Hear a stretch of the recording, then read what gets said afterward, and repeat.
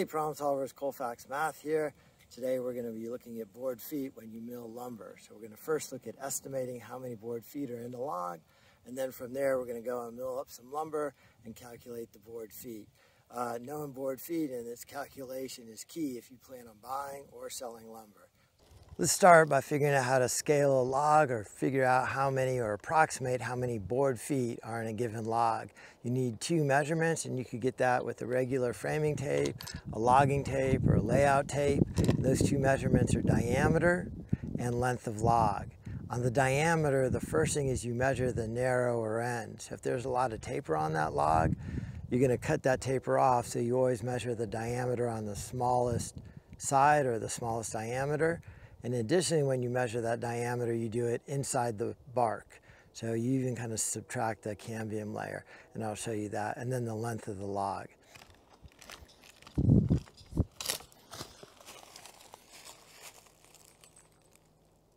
Sixteen foot six.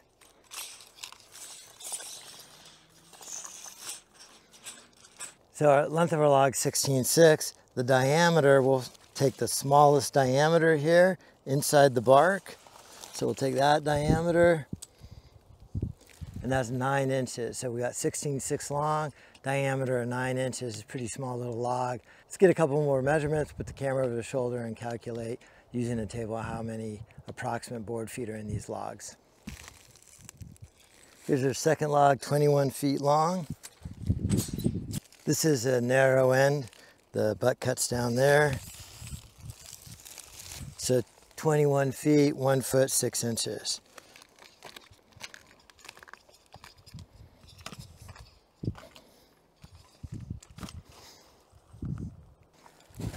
Our third log, 21 foot long, one foot diameter on the narrow end inside the bark.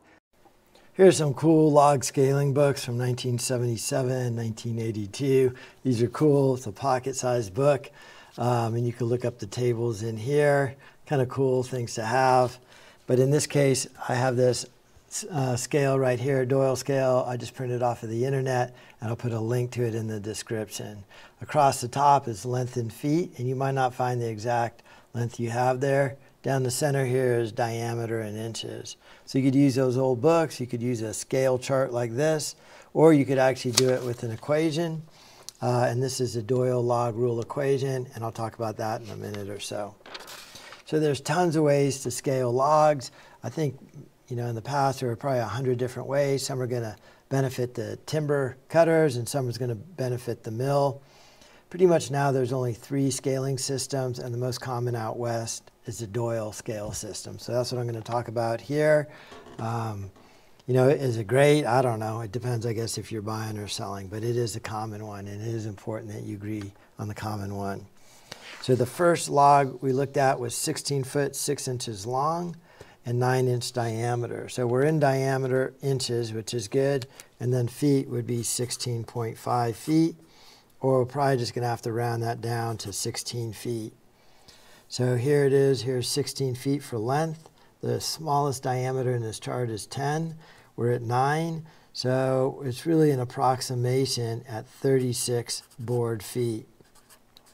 So it's really going to be a lot less than that, um, more than 10%, because you know, an inch on the diameter is not 10% less. This is the most amount of wood. So this is a very rough, we'll put plus or minus, a very rough approximation. When we check it with the equation, we'll see how far off we are. The second log was 21 feet, one foot six inches. So we're in feet here, and one, one foot six inches 12 inches to the foot, this is going to convert to 18 inches. So I'm going to come down to 18 inch diameter. And then on the chart, I don't have 21 feet. It only goes up to 17 feet. So what I'm going to have to do is use 15 feet and 6 feet and then add those two together. So I'm at 18 inches. 15 and 6 gives me 21 feet. So it's going to be 184 board feet plus the 6 foot log is 73 board feet which is going to be a total of, let me use my calculator there, 184 plus 73, or 257 board feet. we'll probably just round that up because we're only accurate to two significant digits to 260. Our third log is 21 feet, 1 foot. So 1 foot, we'll convert that to 12 inches. Go up to 12 right here. And again, we have a 21 foot log, so we're going to use 15 and 6. And a 12 inch log, 15 foot long, is 60 board feet. And 24 board feet for a 6 foot long log. So a total of 84 board feet. So that's how you use the Doyle scale. Let's double check those using our equation here and a calculator. So our equation is the board feet is equal to diameter in inches minus 4, that quantity divided by 4, the whole thing squared times itself times the length in feet. So our first one right here, we'll see how far off we are using the wrong number there, is 9 inches. So we're going to put 9 in for diameter minus 4 divided by 4, quantity squared times the length of 16 feet. So we'll do that on the calculator. 9 minus 4, 5 divided by 4. Then we're going to take that answer, 1.25, and use the square key right there. And then we're going to multiply that by the length of 16 and end up with 25. So using our equation here, it would be 25 board feet, substantially less than the 36 board feet. And remember, again, that was because we used 9 inches instead of 10 inches. Our Doyle scale did not have 9 inches, so we use 10. So you can see how far off it is and why an equation would be useful. So that's our first log. Our second log, we got 257 feet. We're going to do the same thing here using our equation. The diameter, 18, minus 4 divided by 4, quantity squared, times the length of 21. So on the calculator here we have 18 minus 4 divided by 4. Then down here is a square button. We're going to square that answer, then multiply it by 21, and we get 257. Exact same thing as that table. So 257 board feet. So you could see that table is really generated out of this equation. Then next, we'll just do this last one with the equation. We'll do 12 minus 4 divided by 4, quantity squared times the 21. 8 divided by 4 is 2. Squared is 4.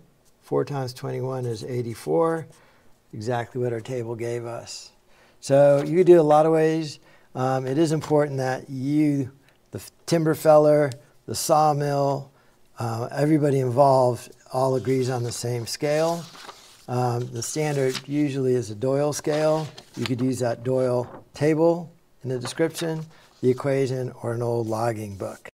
All right, well, I brought those logs over to a friend's house who has a mill, and we're milling them up together. Uh, this is a swing blade mill. This guy's really skilled at it, cutting the cants right there. And then we're going to cut dimensional lumber out of this log. So two by fours, two by sixes, uh, one bys, and we're going to use that dimensional lumber to build a small shed. So we'll calculate the board foot of the finished lumber. This is softwood milling, so pine, fir, and so forth. It's a two by four, but the actual dimensions are one and a half by three and a half.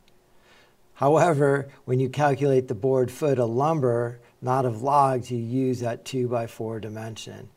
So I'll go ahead and put the camera over my shoulder and we'll just talk about calculating board feet of softwood dimensional lumber.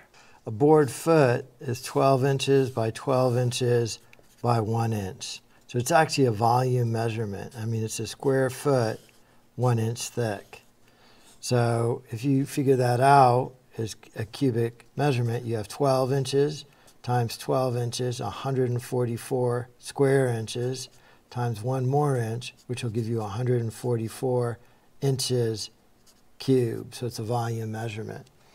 Now, if I have a 2 by 4, say 10 feet long, ooh, not my finest drawing, right? So I have a two by four, 10 feet long. How many board feet is that?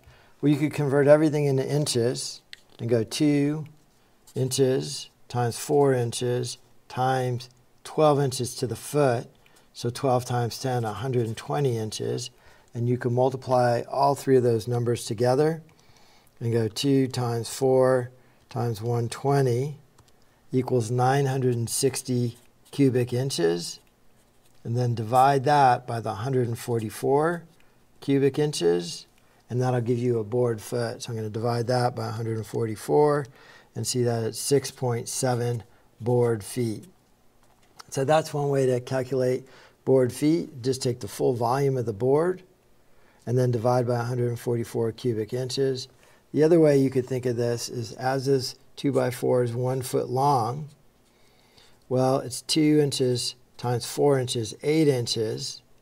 And then 8 inches is how much of 12 was 2 thirds. So it's 2 thirds of a board foot for every foot, if that makes sense.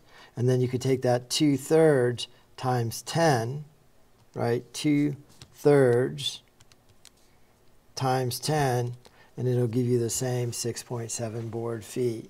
A couple things to remember is the actual dimension here is one and a half by three and a half, but use the two inches by four inches to figure it out. So hope you enjoyed this video, log scaling and then actual board feet calculations, some cool math. Um, the bottom line is always the bottom line. Knowing your numbers really helps your profits.